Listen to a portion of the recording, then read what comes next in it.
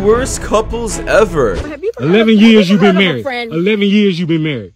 Have heard of a He ain't even a friend that don't even know you married. What's going on, guys? Shak Clips here once again, and the short some small clips of the worst couples I can find. But this first one, guys, it is definitely not good either. Basically, I guess we have this girl over here who pretty much says she cheated on her boyfriend. Well, not technically because they were on a break. Guys, I don't know who believes in that kind of stuff. If you are on a break with your significant other and you still do something with somebody else, that's cheating in my opinion, and I wouldn't get back with you. If your significant other gets with another person during a break, is that considered cheating?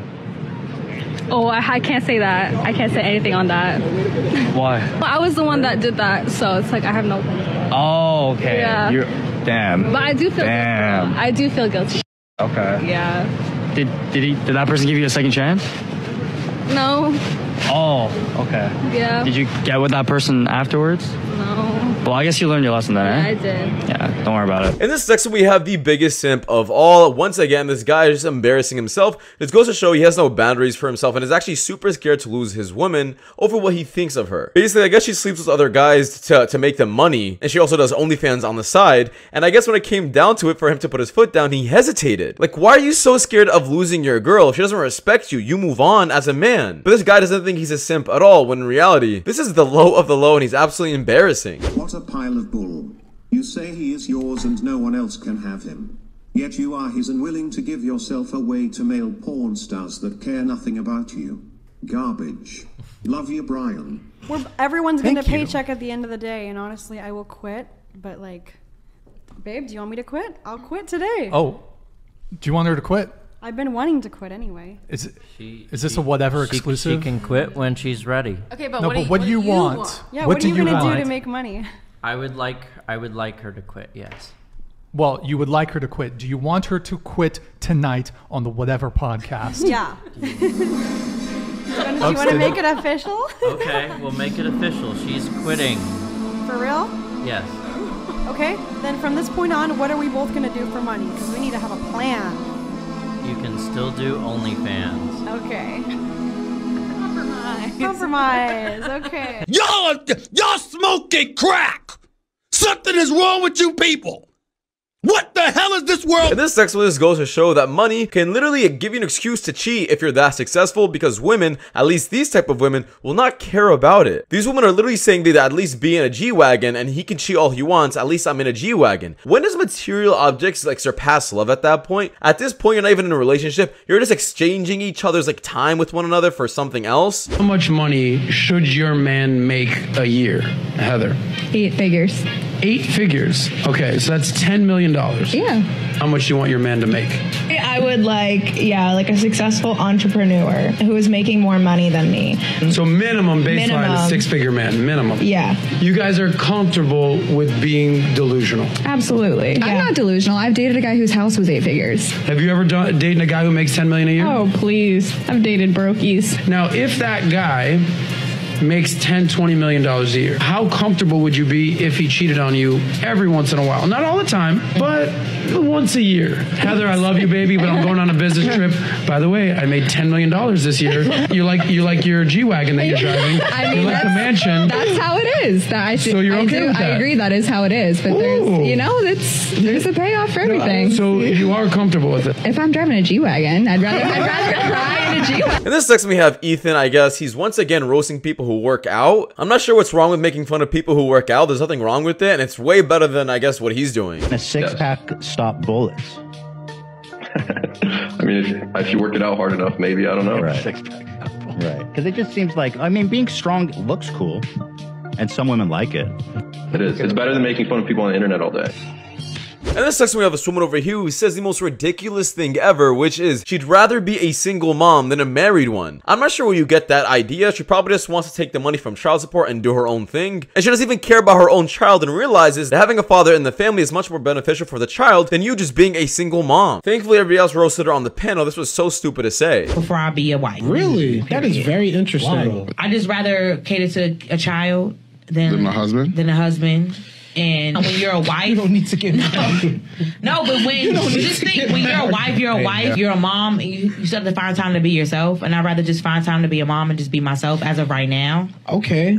And Well, I get it. Uh, I, I'm gonna yeah, tell I'm her not- this thing is on high. it's just I'd rather be a mom right now. So That's a very interesting point of view. No, I get it. In this next one, I guess this man tried spitting some game. Now, either this woman's absolutely slow, or she just, I guess, tried hiding the fact that this man was trying to flirt with her. You guys gotta let me know in the comments. Can I say hi? Yeah.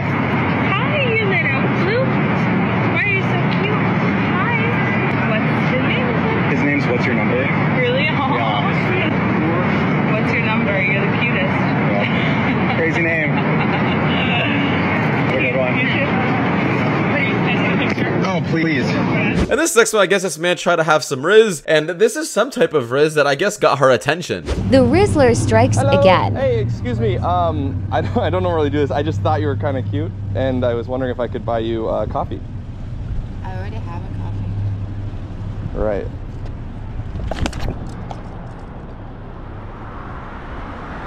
And this next one goes to show that even a man, a father, or even her mom can't even control how she wears. So she doesn't respect your family, she's definitely not gonna respect you. What's the one annoying habit of your daughter? Wearing short clothes.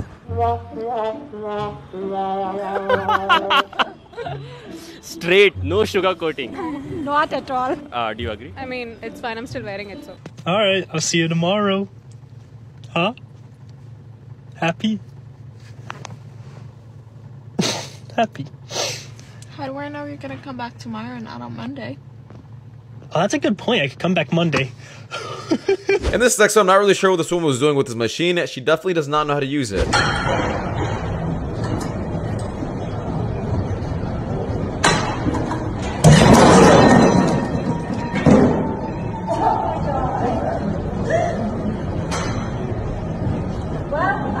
And this sex with this is absolutely insane. Basically, we have this woman over here. She's a wife with kids and has actually been married with her man for 11 years. And this is actually the second time she cheated on him. Her reaction is absolutely stupid. And she's saying she's not cheating at all. And I guess the guy in the beginning was being very, like, defensive. But at the end, actually said, hey, she told me you guys were not together. Keep watching the clip. It gets more and more insane you guys watch it. You don't know nothing about.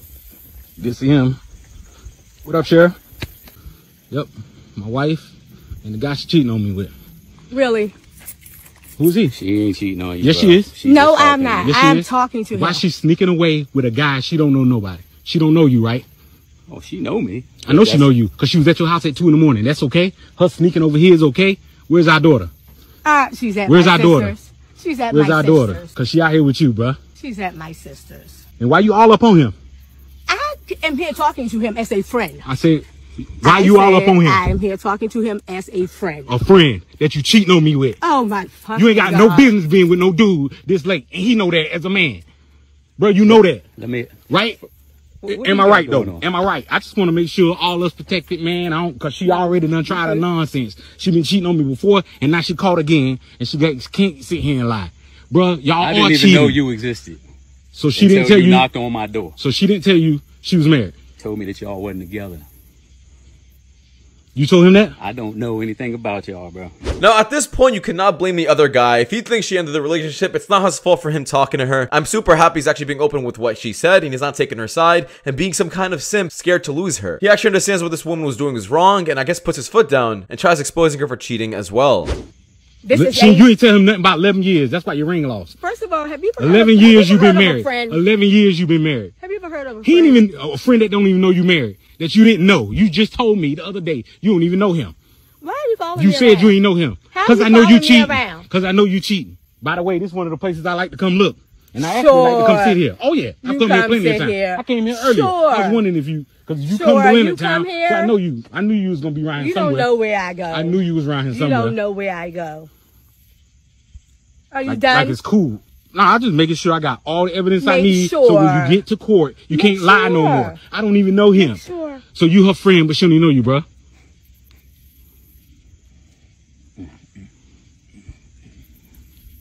She don't even know you.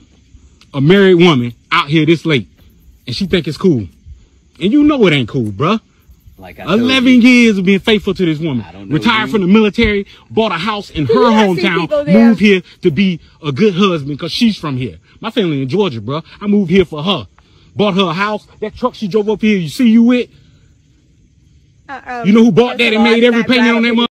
Me. I'm up here to see my Cause she a gold digger.